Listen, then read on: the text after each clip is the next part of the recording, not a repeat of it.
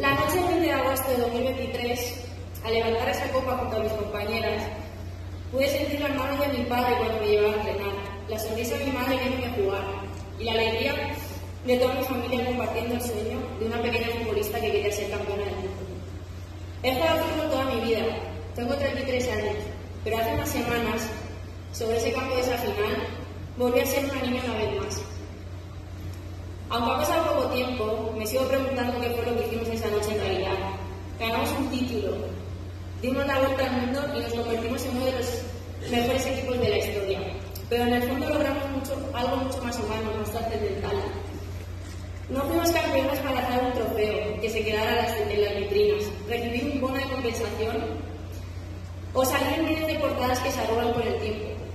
Fuimos campeones del mundo porque esa era la única forma de que nos quedaba para ser escuchadas, respetadas y valoradas. Mi selección nacional cambió la forma de ver el fútbol femenino de muchas personas. Estoy segura que millones de niñas alrededor del mundo se han sentido identificadas y protegidas por este grupo de jugadoras valientes, comprometidas y honradas, que en cada paso que han dado siempre pensaron en el futuro de todas ellas. Han pasado muchas cosas de entonces, y quizás sacrificamos algunas alegrías, alguna celebración, y sin merecerlo, sufrimos más de la cuenta en un momento histórico para nosotras. Pero tengo claro que tenemos una responsabilidad enorme con las nuevas generaciones. Y a todas las personas que no tienen altavoz para, para hacerse escuchar, quiero decirles que esta lucha es de todos.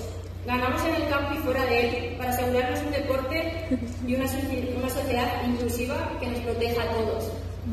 Y a todo el mundo quiero decirles que se acabó.